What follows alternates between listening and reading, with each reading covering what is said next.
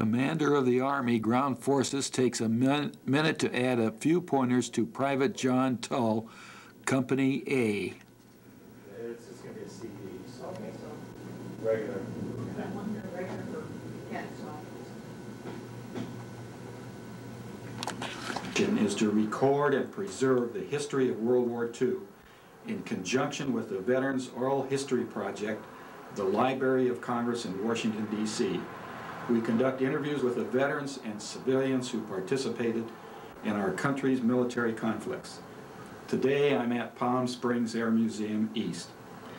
We have the honor and privilege of interviewing Jack K. Tull, Staff Sergeant, 125th Infantry. Welcome, Jack. Would you please spell your name and give your birth date? Okay, fine, Don. Uh, Actually, if this is uh, for the record, uh, I have to go by John K. Tull. Uh, That's okay, because uh, I got Jack in college, and that's, they call me Jack. I can do it over if you want. that's, no, that's fine. Uh, uh, My last name is Tull, T-U-L-L, and my birth date was July 16, 1926, a long time ago. Where were your grandparents from? Well, let's see. I, my grandparents, uh, my father's side, uh, were from uh, Maryland, the eastern shore of Maryland. On my uh, my mother's side, uh, I never. My grandfather on my mother's side uh, passed away when he was very young, and so I never knew him. But my grandmother was originally from Germany, and. And, had come to the U.S. Uh, you know a long time ago. Do you remember where in Germany? I don't remember where. Okay. No, we, you know, I, I was young. We never talked about things too much, uh, really about that, and uh, except I know on my father's side, uh, I think they landed over here, like in uh, 1650 or something like that, from England. Where uh, did your mother and father meet, and do you remember uh, your mother's uh, maiden name? Yeah, I, I, I, I can get into that a little because my father died when I was six months old. So uh, uh, the, the, we, we lived in Hartford, Connecticut at that time, and, uh, and uh, they met uh, in the Hartford area uh, at that time. And what was the other question? Uh, Well, do you, your mother's maiden name? Oh, it was Bolth, B-O-L-T-H. Do you have brothers and sisters? No, I don't have any brothers or sisters. My mother's first name was Adele. Adele Bolth. Right. Uh, and she was a widow, uh, and uh, did she work, or was She, she? she was a widow, and uh, she uh, had to go to work when my father died. He was uh, in business with his brother, and they had a company called Tull Brothers, and they were in the hardware business, uh, building hardware, hardware building in, uh, in Hartford. And uh, when my father died, uh, the- business sort of reverted to my uncle. And she had to go to work, and she actually ended up, she was a hairdresser. And she worked as that for a few years, and then she opened her own business and uh, worked uh, all her life.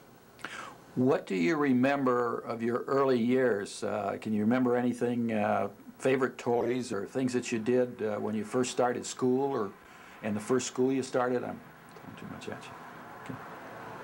Well, uh, yeah, I, I vaguely remember. I remember going to elementary school. I remember walking a mile and a quarter each way each day.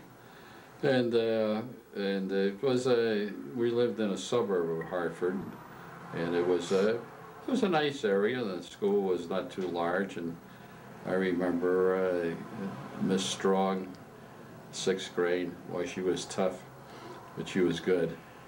And then, uh, and then after that, uh, I went to uh, to junior high school for two years, and then then my uh, my mother sent me off to a boarding school in Massachusetts, and I was uh, at the boarding school, Wilbraham Academy, for four years. Back in those early years, did you take a lunch, and what was your favorite lunch? Oh yeah, you took a lunch, and of course it was peanut butter and jelly, and you could buy milk. I remember that you could buy either chocolate or regular milk, And I thought it was a big thrill to buy the chocolate milk.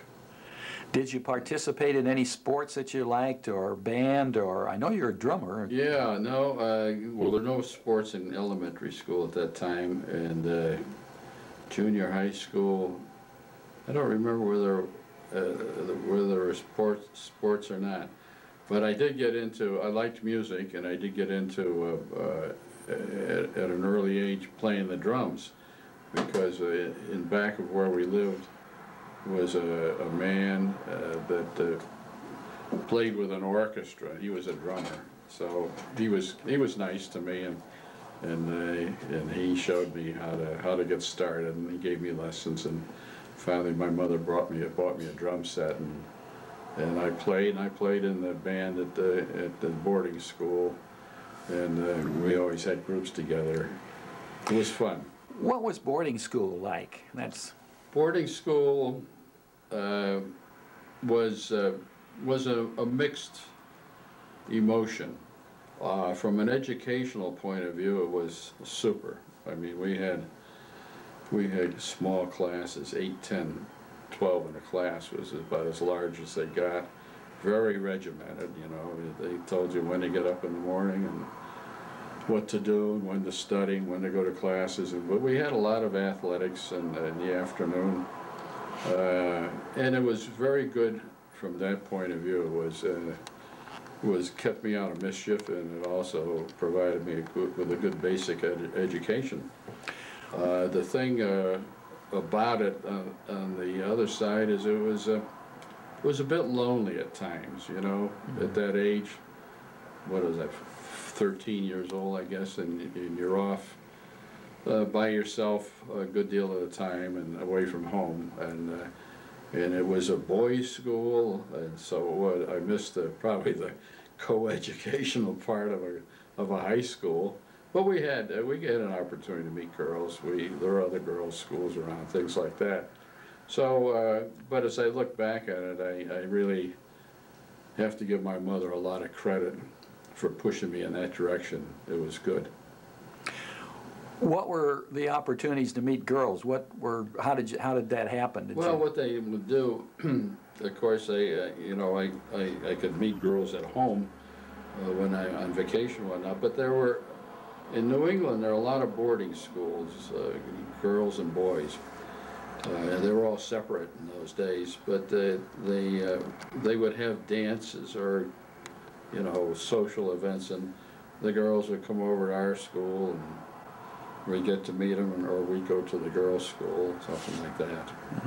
Did you have any favorite subject at all in, uh, in, in the boarding school? Well, uh, I, I don't know it was a favorite subject, but I was looking at uh, some of my old records, and I, and I had a, believe it or not, a scholarship uh, in Latin, because I, of, I guess I was pretty good in Latin, and I don't understand why.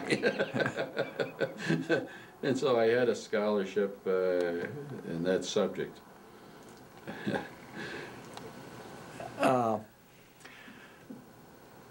When you uh, went from border school, did you, did you go right into college, or did you have another step Yeah, I in there? went- I went right into college. As a matter of fact, uh, of course, in my last year of, uh, of school, my senior year, uh, 17, and uh, the war was on, and been on for a couple of years, by the, well, even more than that, three years. And uh, so I knew that was ahead of me. So I took uh, an accelerated course and went to school all summer so that I could graduate. Uh, and I graduated in Ju- in January, and, and then I went on right away to college at Dartmouth, Dartmouth College in Hanover, New Hampshire. And, uh, and I, I I don't, I, I'm, as I look back, I wondered why I did that and how I had the, the foresight to do it, because it was, it worked, it was, it was really a very good, uh, good strategic move. Because after I got out of the service, it was when I was getting out of the service, I was only at Dartmouth for one, one semester, because then I turned eighteen. But uh, after I get, when I was getting out of service, those who had been there before got priority in getting back in. in nineteen forty-six, when everybody was coming out. So I was very lucky to have, uh, have some priority, so as soon as I was ready to get out of the service, I could go right back into college. I Why- started over again, though, the one semester, you know, I just fooled around, I knew I, I knew I wasn't gonna be there long, and I couldn't concentrate, and But why did you pick Dartmouth? Well, I, I, uh, I'll tell you why. I lived in, in, in Hartford, uh, Hartford area, and uh, I applied at four colleges. I applied at Yale, Wesleyan University, which is in Connecticut, Trinity, uh, which is in Hartford, and Dartmouth. And I had a friend of mine that went down to Yale, and I went down to visit him uh, to see uh, what it was like. And uh, I, uh, I was sitting in his, in his dormitory room and I saw something go by and I said, gee, what's that? And he says, that's a trolley car. And I thought, I don't want to go to a school that has trolley cars going by your dorm window. So I did the other extreme. I went up to Dartmouth and Hanover, New Hampshire, which is out in the middle of nowhere if you've ever been there. And It's uh, absolutely beautiful. It's really country. And it's a, it's got a campus that, that, that is the epitome of what a college campus should be like. And uh, that's, that's how I ended up there. Did you have a car at that time? No, I didn't have a car and gosh, I used to hitchhike. Now, that's something you, you, you don't do or you don't see anymore. But it was, uh, we were about, gee, I think we were a uh, a little over a hundred miles, hundred and sixty miles from home. And I would hitchhike home for a weekend. You imagine that? Go down, go out of town, stand by the side of the road, put your thumb up, and people would give you a ride. And I, and I'd hitchhike all the way to Hartford. And I, generally I took the train back, because, uh, you know, I had to be sure to get back. But I'd hitchhike on the way down, and of course, uh, everybody gave everybody a ride. It was wartime. Gasoline was rationed, and people were considerate of each other and helpful. Did you have a driver's license? Uh, Oh, yeah, I, I got a driver's license when I was sixteen, Okay. and my mother had a car, and, uh, you know, What kind of a car was it? she had a Plymouth. Okay. Plymouth, yeah, yeah. Where were you on Pearl Harbor Day? Pearl Harbor Day, I remember it well. Uh, I was in, uh, I was in, at Wilbraham Academy, the boarding school, and it was Sunday. And we had chapel, what we call chapel service, uh, every Sunday morning. And I remember coming out of chapel service, and things were really buzzing. Boy, what was going on? And, and I learned uh, almost immediately that the Japanese had bombed uh, Pearl Harbor, and that's when I first heard it, and you know, just uh, really confused and, and didn't understand the situation. But that's when I first heard it. Did you know where Pearl Harbor was? Well, Hawaii, but I didn't even know where Hawaii was in those days. Yeah. How did you uh, get into the service? Were you drafted, or did you have any particular branches that you were looking at, like flying or sea, or? uh, no, I was drafted. Okay. And, uh, and I went, uh, I'll never forget that either. Uh, I went down for the induction. This is right after I turned eighteen. And, uh, and they said, the guy at the desk said, well, what do you want, the Army or the Navy? Well, I said, I'd really like the Navy. And he picked up the Army stamp and he whacked Army on it. And I thought, you son of a gun, you. So I, I ended up in the Army. And then I went to, uh, so immediately we were sent up to Fort Devens in Massachusetts uh, for processing, you know, they give you the, uh, the, the, the uniform and all the equipment. Did you go by train? Uh, Going up there, yes, I think it was by train. Uh, The thing, thing that uh, amazed me is uh, that I remember the PX, of course, everybody smoked in those days. And they had Camels, Lucky Strikes, Chesterfield cigarettes. And I remember, I think they were fifteen cents a pack or something like that. You know, uh, really a bargain price, and of course I started smoking. And uh, anyway, uh, we were there four, five, six days.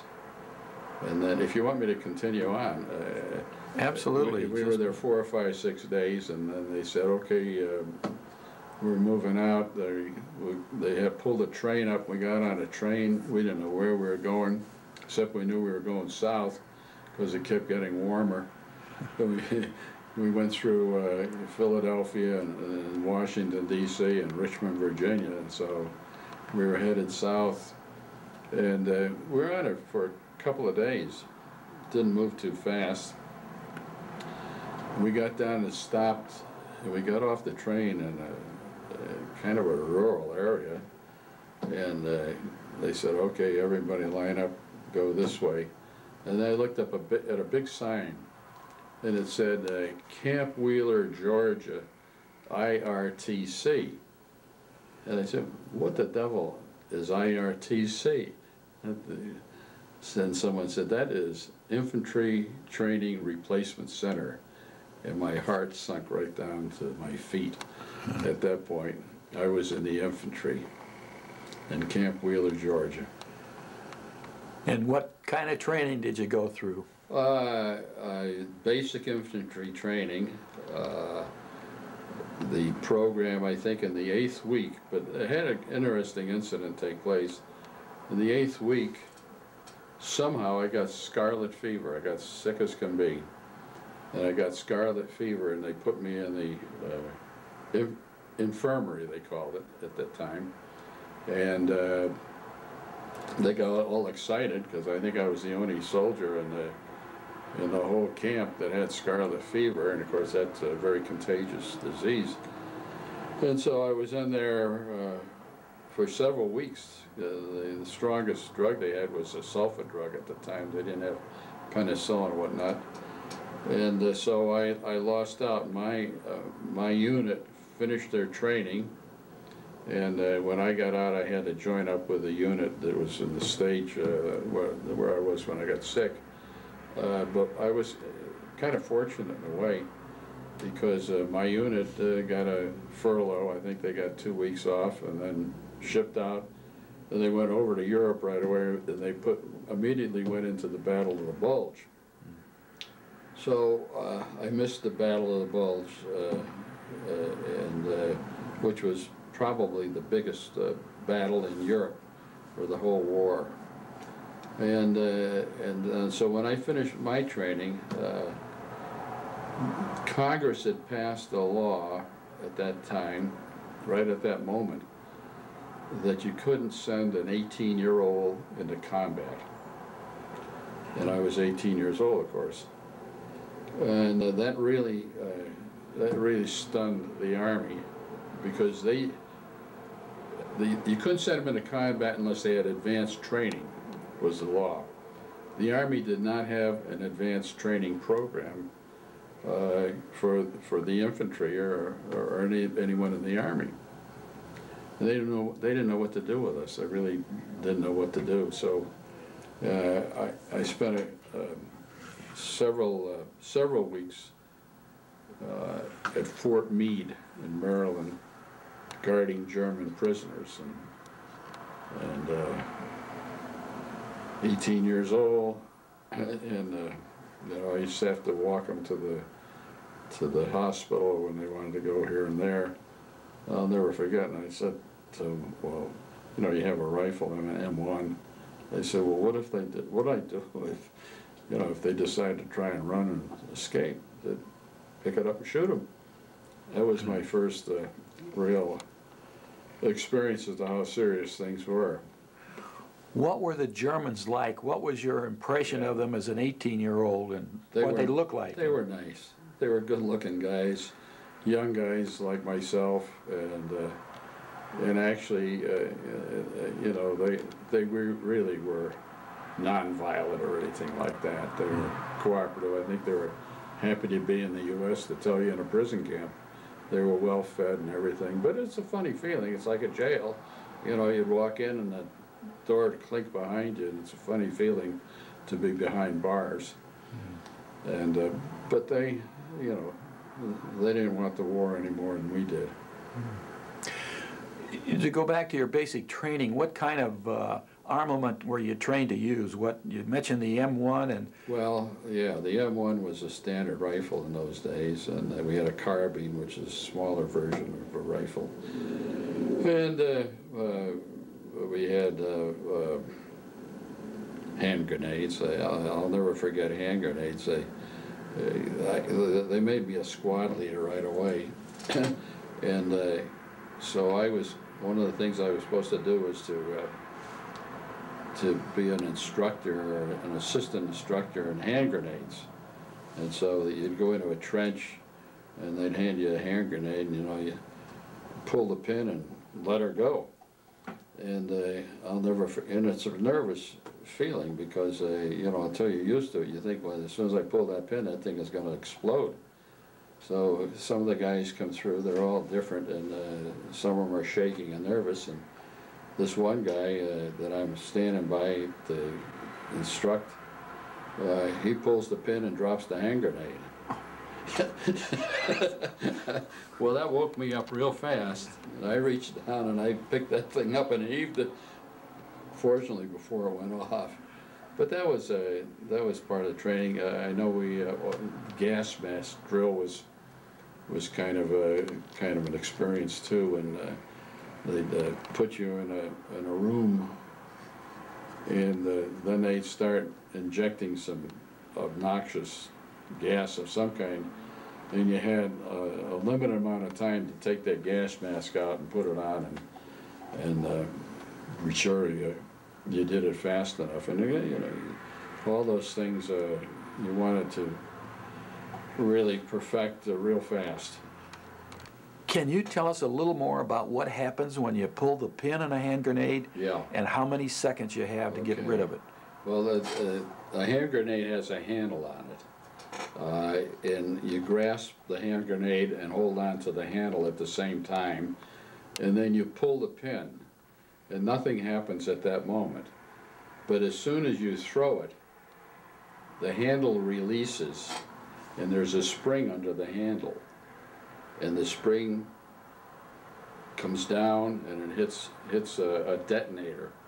And it takes several seconds for it to, to detonate down into the chamber of the hand grenade, which is full of powder, gunpowder. And that's how it works. I'll be darned. Yeah. So you were a squad leader, and uh, you were at uh, guarding prisoners, German prisoners, and what came next? Okay, next, finally, after uh, about a month or six weeks, the Army uh, got into action to establish some advanced training. So I was shipped out to uh, Alabama, Camp Rucker, Alabama, which is now Fort Rucker. And um, that, that, that was, at this point, advanced training, but, you know, they really didn't have a thing already set up too well. So at that point, uh, they recommended me for officers training school.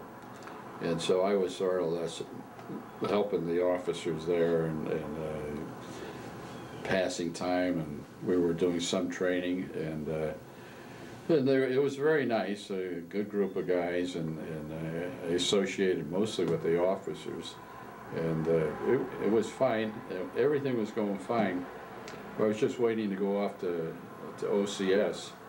And, uh, and so all of a sudden we got a call, uh, hey, by tomorrow night, we're, the whole camp is moving out and we're, we got a, a, a train, uh, that we're, had to get on and, and so, uh, we had to pack up and get everything ready and it was, a- it was really a, a hasty situation. I got on this train and of course now we're heading west.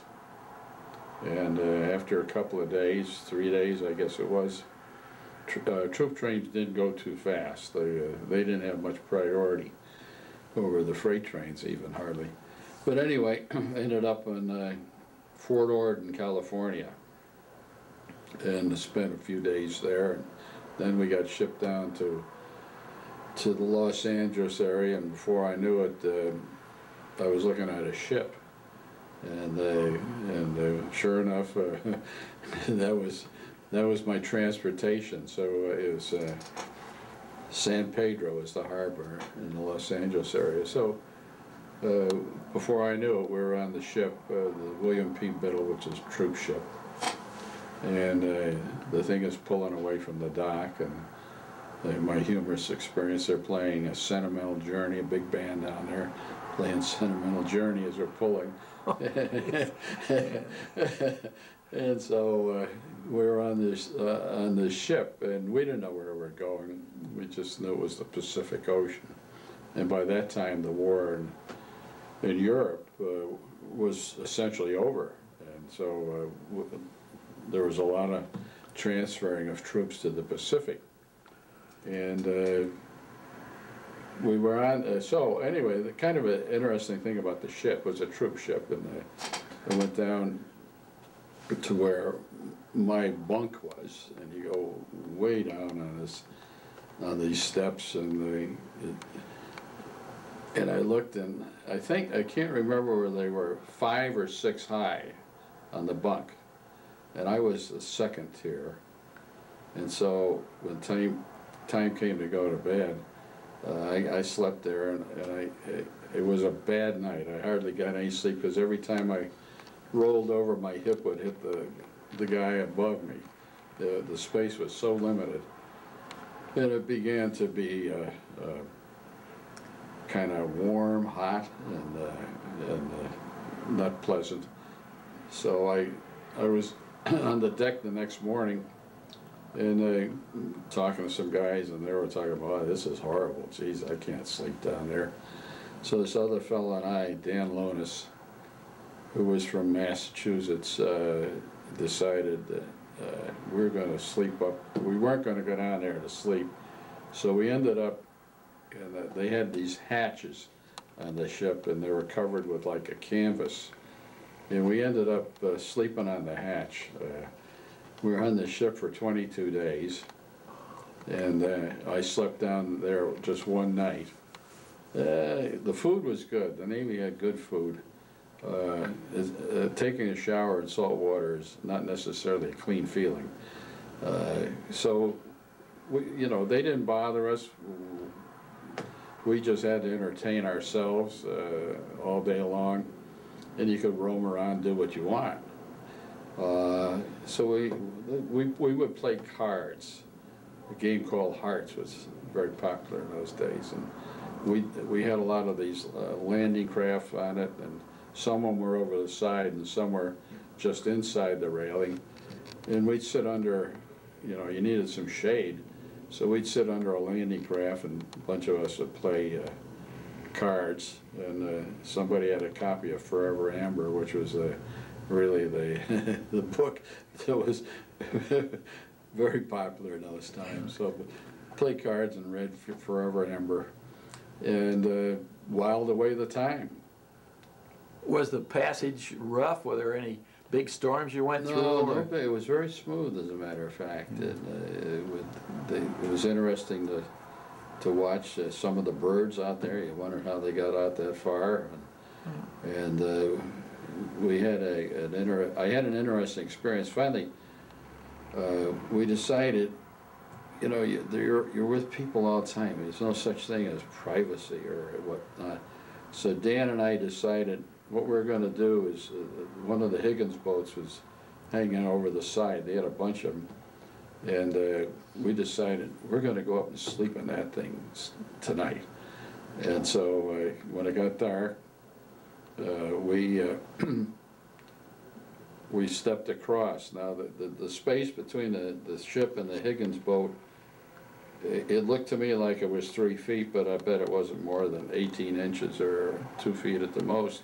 But you had to kind of step from the ship into up into the Higgins boat. And we thought, this is gonna be great. This is our private suite for the night. We got up there and we discovered that the thing was vibrating. It was vibrating something terrible from the ship. I, I don't know, the connection or, and you couldn't even, you couldn't sleep, you couldn't even think about it. And then it came time to, we decided this is a dumb idea. And we, uh, we uh, went back, uh, decided to go back onto the ship. Well, at that point, I looked over and I looked down, it was dark.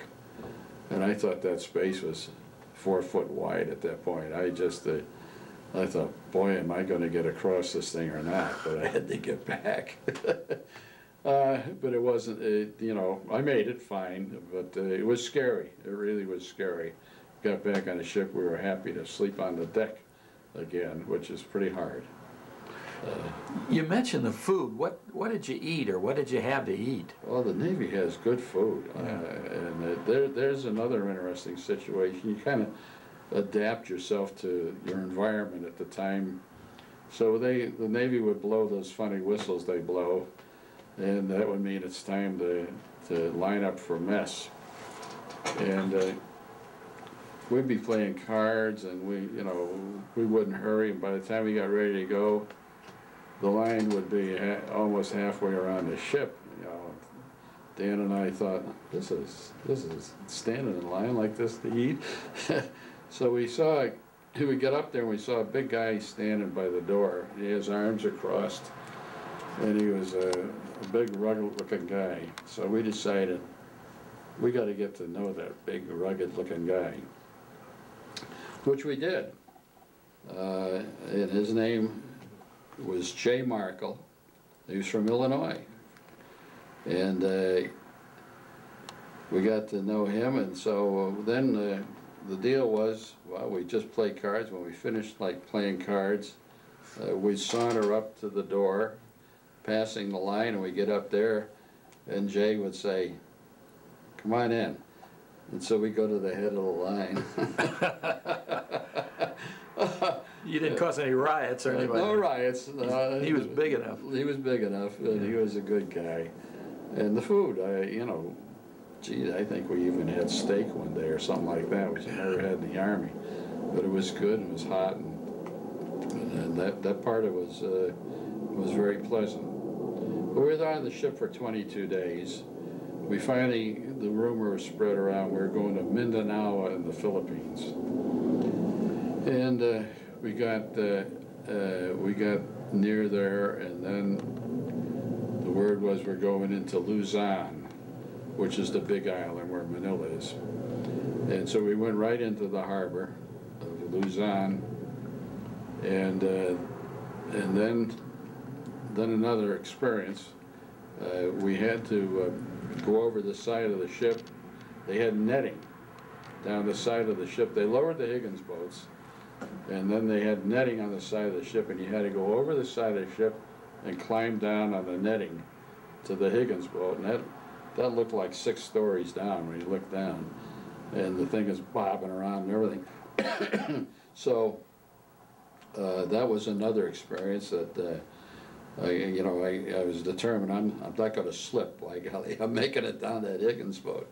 And, uh, we did, went in on the Higgins boat.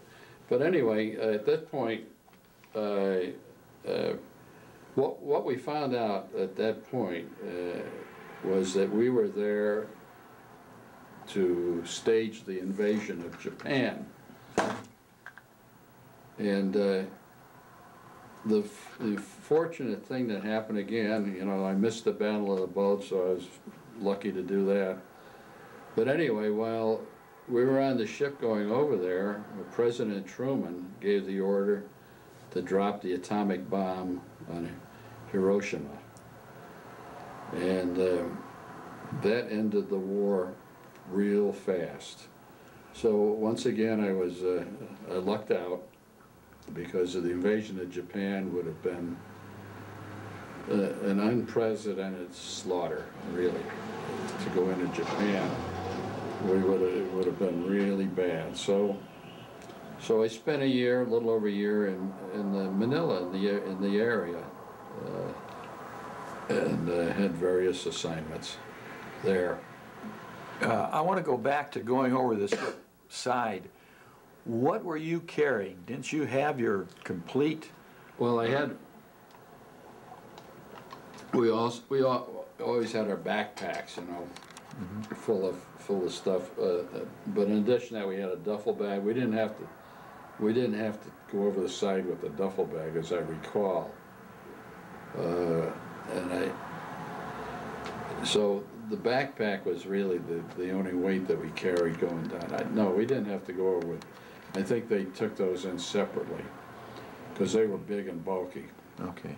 And, uh, so that wasn't too bad, it was just the, the height of, uh, uh, and the anxiety of s- slipping or, what, what were your assignment? You had some different duties for a year. yeah, Okay. right, I, uh, I, there again, the, the war had just ended and we guarded Japanese prison, prisoners for a while.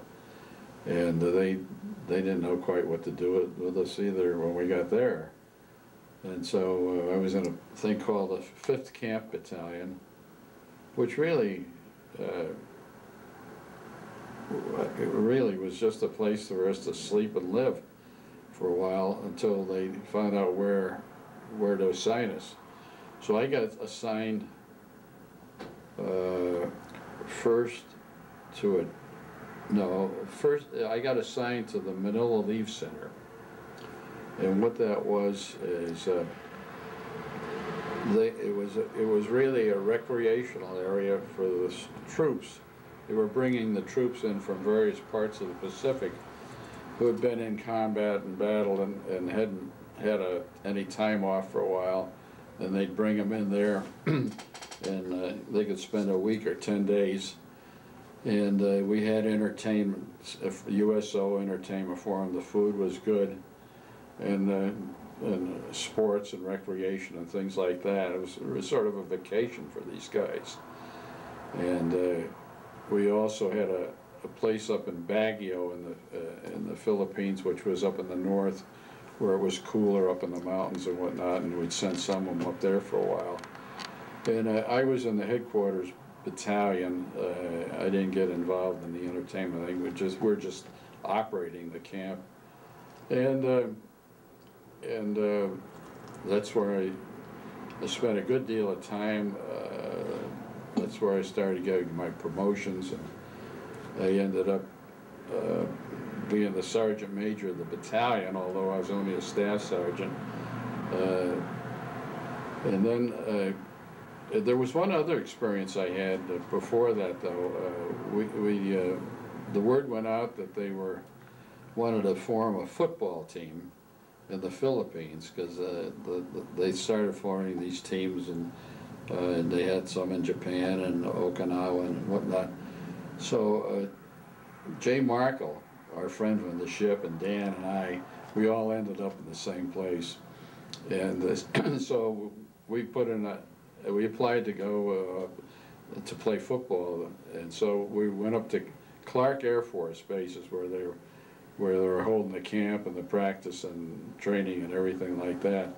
And I, at that point, I had a good job. I, I was in a motor pool, and uh, it, it was uh, really a soft experience, and I had a jeep and everything and all that, and was, life was pretty good.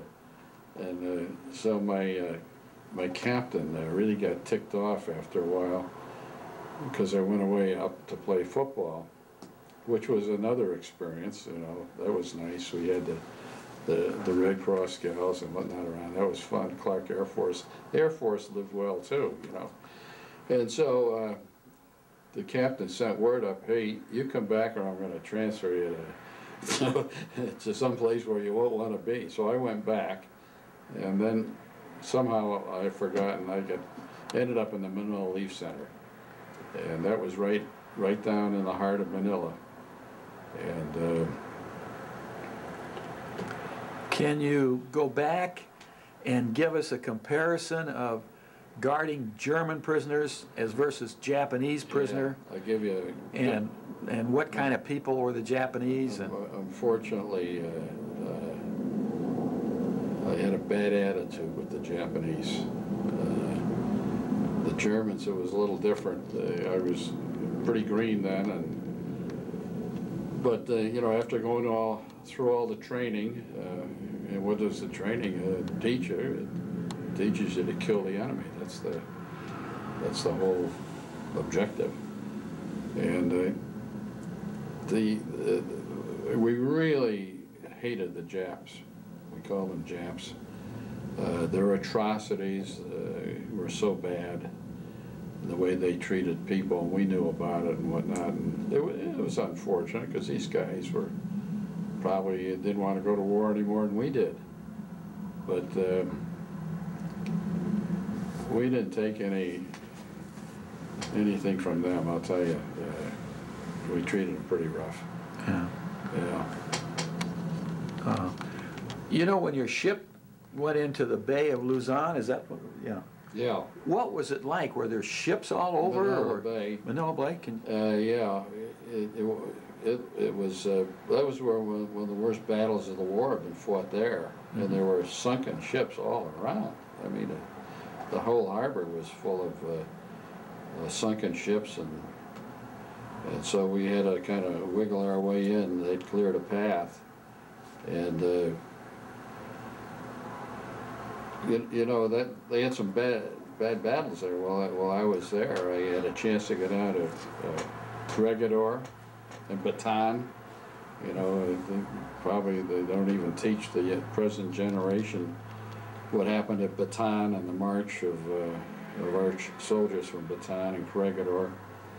Uh, and how bad it was and the way they were treated by the Japanese. And that was, uh, you know, a big factor in the way, in our attitude towards the Japanese uh, that we had there. Uh, But uh, Manila, the Philippines were nice people. Uh, it, uh, uh, Manila was the second most destroyed city in the, in the world next to some, some city in Czechoslovakia, I think was worse or something like that. It was really, really leveled. Uh, But uh, we started rebuilding it. and- and it- it- As I say, they were nice people. what did you do for recreation? Did you have R and R, or did you have any, Well, we were, we were at R and R ourselves, so, uh, but, but the, they, they started establishing recreation and sports right away. And so they formed a baseball team there, and they were called the Manila Dodgers, made up of uh, servicemen. And uh, gee, they had uh, some, uh, some real professional ball players that, uh, that were on the team. And we had, we could go to baseball games and, and of course, uh, the usual movies and things like that. And a lot of, the USO brought a lot of people in. can you remember any of the USO people? Like, was Bob Hope there? Did you ever see him, or? No, Bob Hope wasn't there. Uh, I re- I remember a baseball player. Uh, His name was Early Wynn. And Played for the Early Wynn turned out to be a, a great pitcher. Played for the Chicago White Sox for a number of years, and he was on the team in Manila, the Manila Dodgers. Uh, We had, uh, we had uh, clinics that we brought, uh, the uh, coaches and people like that. that we brought- that uh, came in. Uh, An interesting thing is that uh, we had, I applied to Trinity College in Hartford, and while I was there, uh, the basketball coach and the football coach came in to, to hold clinics. And the basketball coach was, his name was Ray Oosting, and he was from Hartford, so naturally, I made a point of introducing myself to the two of them. And, uh, and while they were in the Philippines, in Manila. Well, as it turned out later, it's- a, it's a coincidences are, are interesting. Uh, my roommate in college, uh, married Donna Oosting, uh, which was Ray's daughter. And so, uh, you know, it was funny that I met her father over in Manila uh, at that time, when of course we naturally have become great friends and still are uh, friends. But uh, there we were, thousands of miles away. Thousand miles away, did you have pen pals, or any sweethearts, or Uh, correspondence uh, while you're in the service, or? I had some, I, I had some, uh, uh, not too much. Uh, I can't remember sticking with a girl long enough to Kathy, line one. Sorry. I, to uh, have, have, have much in the way of pen pals at that point. In all, all those years, uh, you mentioned, was there some combat activity around you when you, Oh, yeah, when I got there. what was going on? uh, They were still up in the hills, the Japanese. And of course, they, they wouldn't accept the fact that the war was over. And so you had to be real careful at that point because we were flushing them out, uh, out of the hills. They were in caves. I mean, you, you, you, you remember some of the stories that one, two years later, they were discovering these Japanese, uh, in the remote areas. And so, uh, that was going on, but of course, uh, you know, nothing very heavy, just sporadic shooting you'd hear once in a while. And uh, when did you return, and was that tied in with discharge? And uh, Yeah, it was uh, 1946, after I'd been there a year. Uh, it was interesting. Uh, at that point, uh, a lot of people were returning to the U.S., so they um, they offered me wh- what was called a battlefield commission. It wasn't really a battlefield at that time, but they offered me a, a, an immediate commission. I wouldn't have to go to officer school or anything if I would sign up for two years and stay stay on. And I, I said, no, I'm not interested. You can make me a colonel. I wouldn't stay. I just wanted to get out and get home. So it was, um, in the meantime, uh, I received notice from Dartmouth uh, asking my intentions about the class uh, starting in the fall of 1946. So I, I, uh, I applied affirmatively. I'll be there, hold the space for me. And, uh, and I was just sort of uh, taking a chance and trying to figure it out because I wasn't sure when I was going to get out.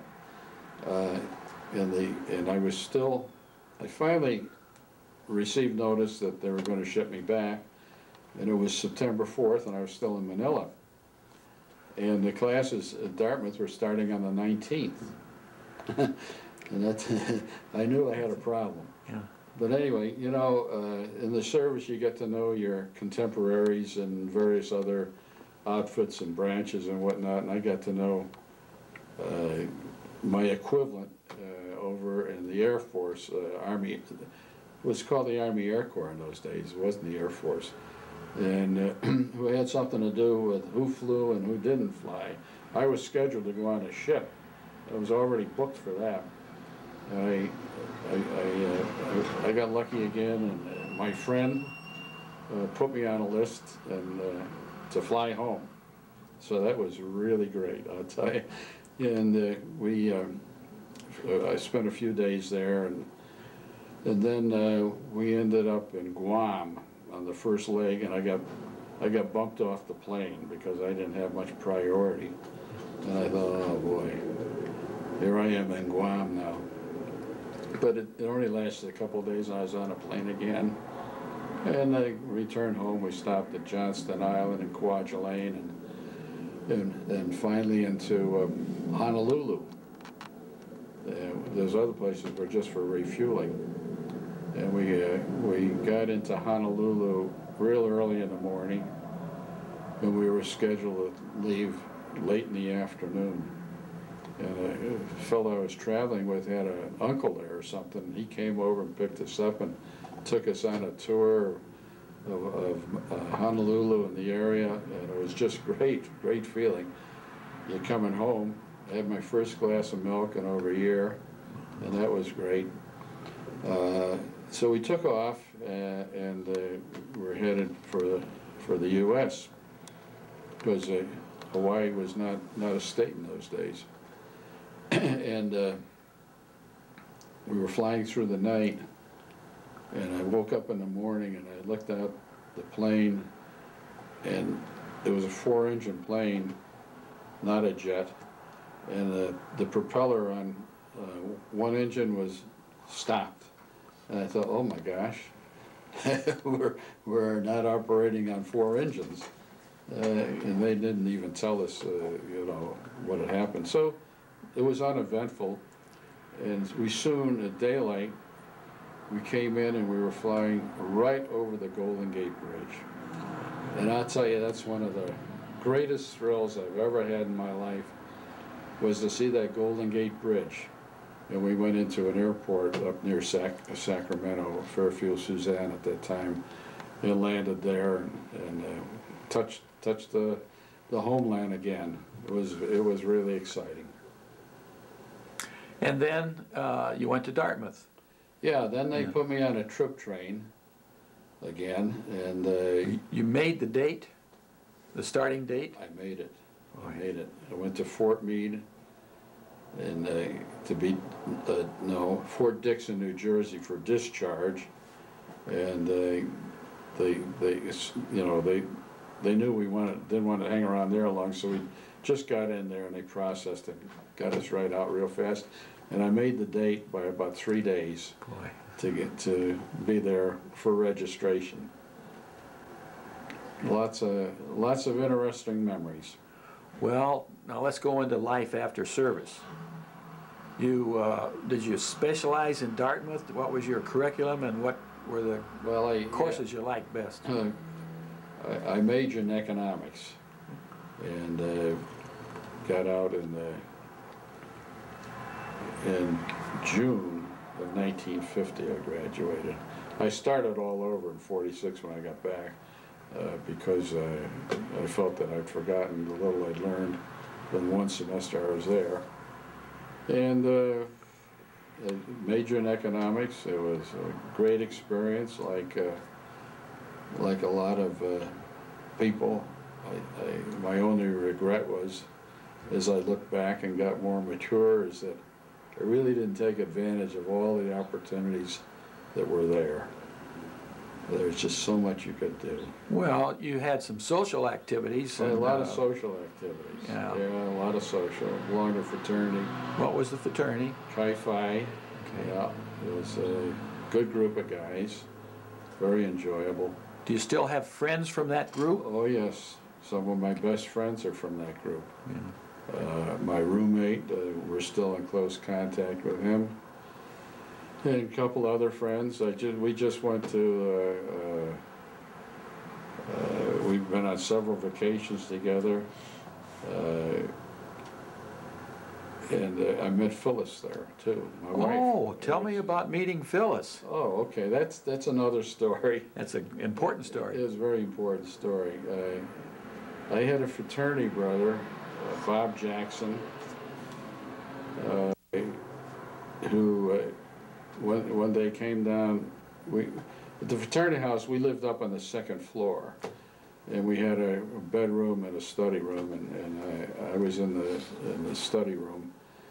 And he came, he was coming down, I could hear him coming down the corridor, and he was saying, uh, he said, I, I, I've got a, uh, my girlfriend is a, a flight attendant, they call them stewardesses in those days, Okay. with United Airlines in, in New York. And he said, I'm having her come up for a football weekend, I don't know, the week after next or the week after that. And, uh, you know, she doesn't want to come alone, she wants to bring another stewardess with her, and, uh, so is any, you want, anybody want a date? And I could hear him, you know, the next room. And, and the, the two guys in the next room both had girlfriends. And so, uh, he came to my room and, uh, said, same thing, you interested in a date with a United stewardess, uh, for the football game? And I already had a date. And I said, oh, no, thanks, Deke. Bob Jackson, I call him Deke. And so he was going to the next room. And I thought, hey, I just did a stupid thing. I said, the flight attendant with United Airlines, and in those days, uh, they were highly, highly, uh, how shall I say, uh, uh, Admired. admired. And, uh, and, uh, you know, it, it, you couldn't go wrong. So I said, hey, Deke, come on back. I said, listen, I'd like to have the date with this flight stewardess. And so I canceled my, the date I had, some, gave her some lame excuse. And, uh, sure enough, two weeks later, and on a Saturday, no, let's see. She- She came up on Friday, Friday. And uh, to what, she took the train up, uh, from, and they came into White River Junction, Vermont, which is the, the railroad town not far, about five or six miles from Hanover. And, uh, train came in, met her, and, uh, What was your first impression? Boy.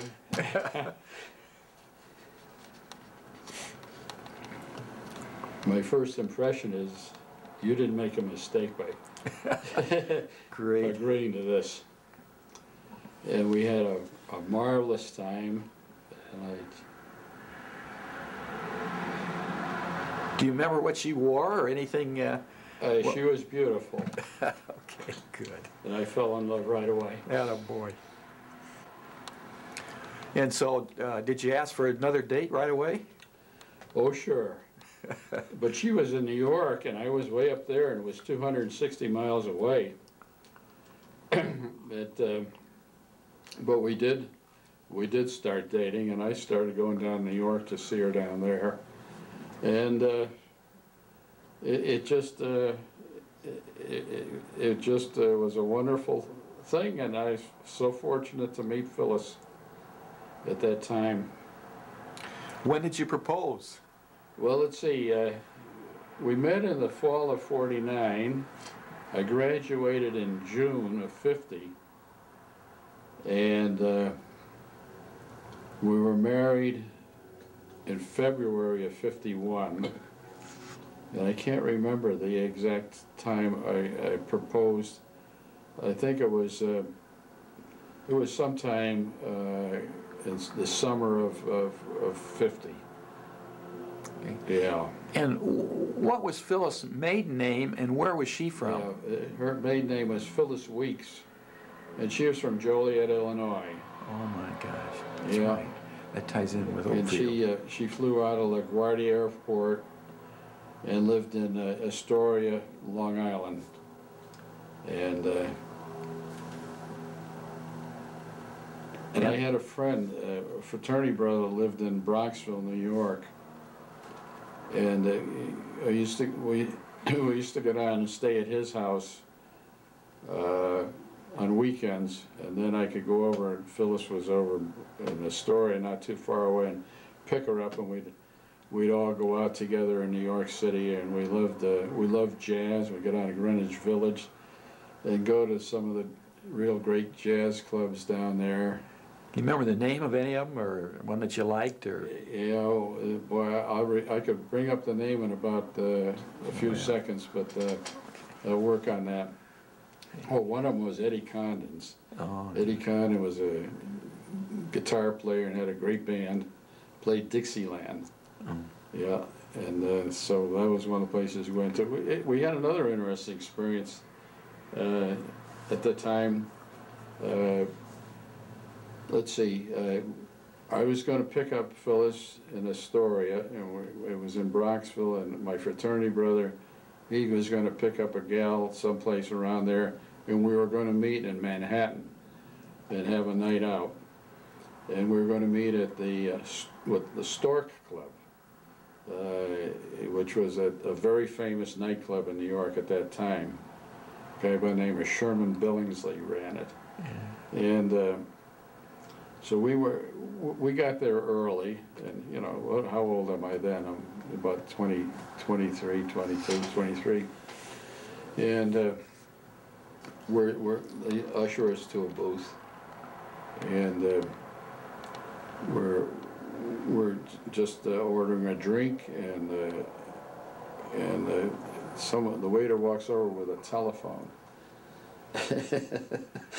And he plugs it in uh, to an outlet and where we were sitting, and he said, you have a telephone call. I said, I have a telephone call.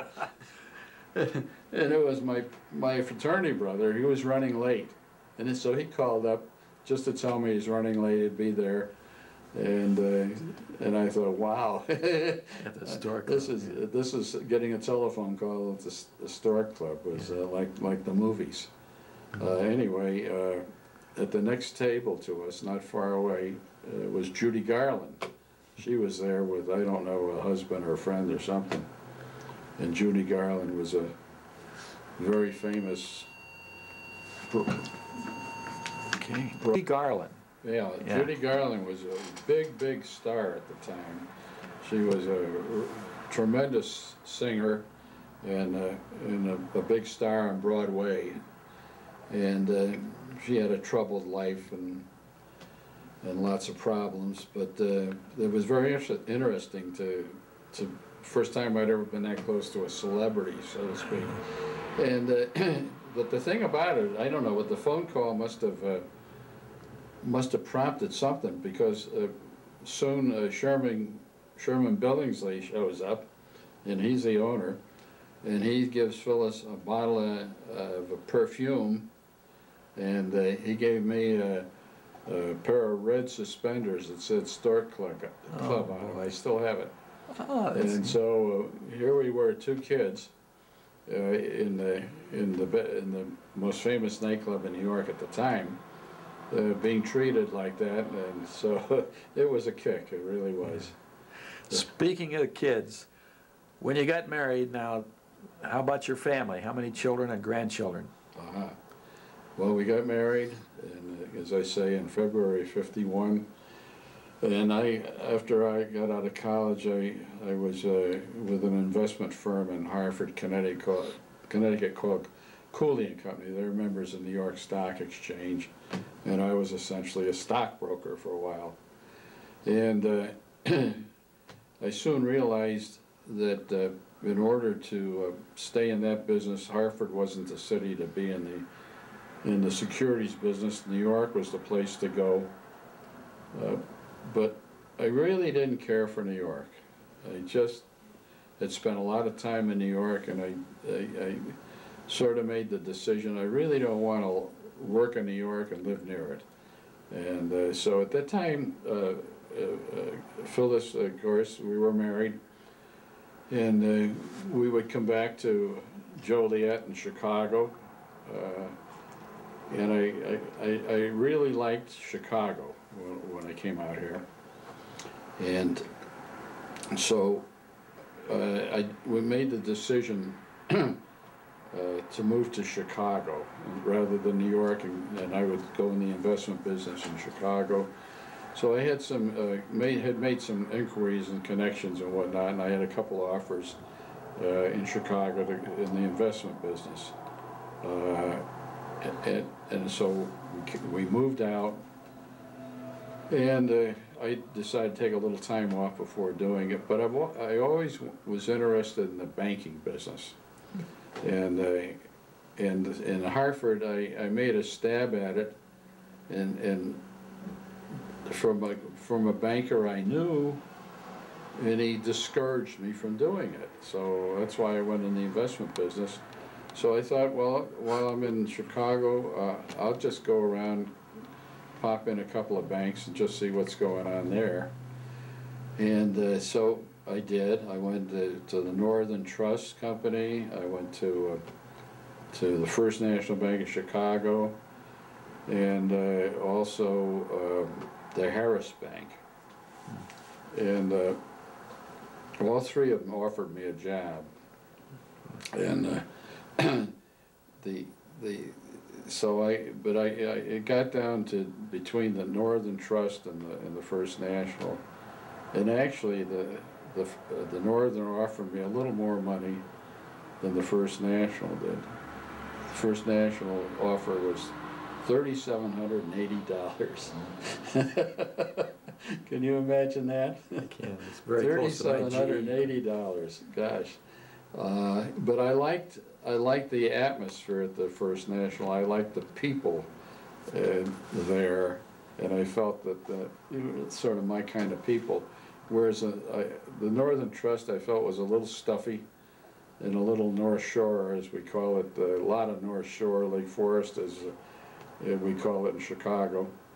And so I took the job at the First National, and, uh, and that, that, I won't uh, dwell on that, I'll just, hit, hit that, I stayed there, I was there, I had lots of, uh, various functions at the bank, and, uh, stayed there for nineteen years. But getting back to getting married, you know, we, uh, we moved to, to Chicago, and we lived in LaGrange, and that's where I met Don Aarons, who I'm sitting with today. You imagine that? That was in nineteen fifty-three. Yeah, it- Yeah, it's, it's fifty-five, actually. you, we moved there in fifty-three, and I think I met you in- in- after two or three years we were there. And, uh, and, uh, we're in LaGrange, uh, on, uh, Sixth Avenue, I think it was, two, three blocks away from the railroad station. It was a great location. Uh, I could commute into Chicago on the Burlington Railroad. And it was real fast. It was great. Uh, and while we were in LaGrange, uh, uh, our son Jim was born, our eldest, and uh, without getting into a lot of detail, but to talk about family, uh, we ended up having uh, three children, Jim and two girls, Nancy and Carolyn. I'm gonna take a little drink Oh, here. yeah, excuse me. Uh, Soon after that, we, we, in nineteen fifty-six, we bought our first house in Naperville, Illinois, and lived there, and spent a lot of time with Don and Marty, and had a lot of fun. Jack and Renee. Jack and Renee Cooper, and we're still friends. Nineteen fifty-five, that's a long time, that's great. It sure is. You know, uh, and then how many grandchildren do you have today? We have five grandchildren, all girls. Oh, We love them all. Girls are neat. And uh, Nancy has three girls, and uh, they live in, in Evergreen, Colorado. We, in fact, we were out there last week, and uh, they're all growing up. Uh, Stephanie, the oldest, is applying at colleges now, and Annie is, is the middle girl, and Carrie's the youngest. And uh, Jim is, uh, our son Jim that lives in Tiburon, California, uh, in the San Francisco area. And he has, uh, he has two twin daughters who are Emily and Jane, who are seven years old now. And uh, his wife is Meredith, who is a California gal. And uh, Nancy married Scott Latimer, who was a neighbor of ours in Barrington, and they went to high school together. Carolyn, of course, is, uh, is uh, married to Charlie Martin, and they live in Geneva. They don't have any children. And we see them often. Uh, Jack, can you relate to anything you learned in World War II service that benefited you in your career as a banker, and now you're into real estate and doing lots of things and buying companies? But did any of that service stick or anything that you learned there? Like hunting? Do you, do you hunt? Because Uh, you, I, you had an expert rifleman. yeah, I don't hunt. Okay. I, I, I was the best shot in our battalion. Oh, and I, I was, uh, I got an expert rifleman medal. Uh, and, uh, but I don't hunt, I never had any interest in hunting. Uh, but I, I, the army, I learned, uh, I grew up fast in the army. Uh, you learned a lot of things, you had to get along with, with people and, uh, the, the mixture of people, ran the ga- gauntlet, all, the all the way from guys that never went to high school to other people, and, and you got along with these people. You relied on each other, and uh, I, I learned that um to be conscientious and and you had an opportunity for promotion and work hard, and it, it was a, it really was a good experience. You know, you, you really matured kind of fast, and uh, you know I. I don't think there's anything wrong with young men spending a year or two in the army or the service, and they get, uh, you get a different perspective than I think what a lot of them have today. What would you tell your grandchildren, and maybe this tape will be their children, that you'd like them to remember about World War II in our country? I don't think, Part of the uh. I don't think uh, the succeeding generations uh, really understand what World War II was all about. and what our participation was. And uh, it's, it's kind of unfortunate, I guess they don't teach it much and probably it's just as well. They don't talk about it too much. But the, um, the whole world was in turmoil, absolutely. And, uh, and it was a do or die. And we went in to Europe and fought along with our allies in Europe. And the French and the Ger- and the Russians were somewhat of an ally, not really, but the British were our big allies over there.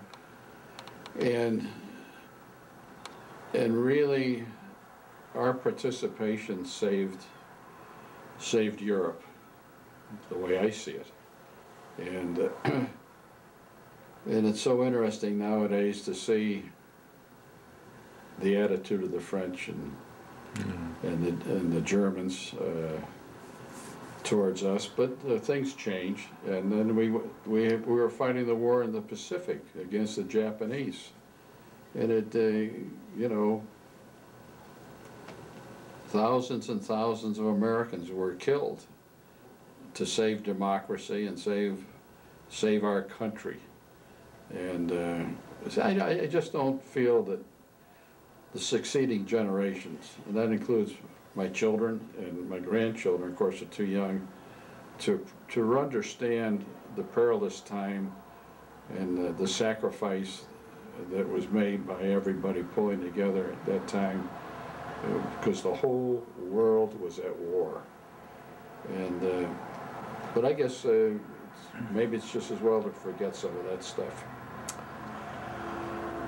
Jack, on behalf of the Palm Springs Air Museum, we want you to know we're proud of you. And we thank you for your service. And we hope that this documentation will be enjoyed and kept with your family as it will be in the Congress of the United States. Well, Staff Sergeant Tull, thank you. Well, Don, that's very nice, and I, I, I- it was a great experience, and it- it was uh, interesting, good and bad, but uh, I I appreciate spending the time and your, your interest in doing this with me. Thanks so much, too.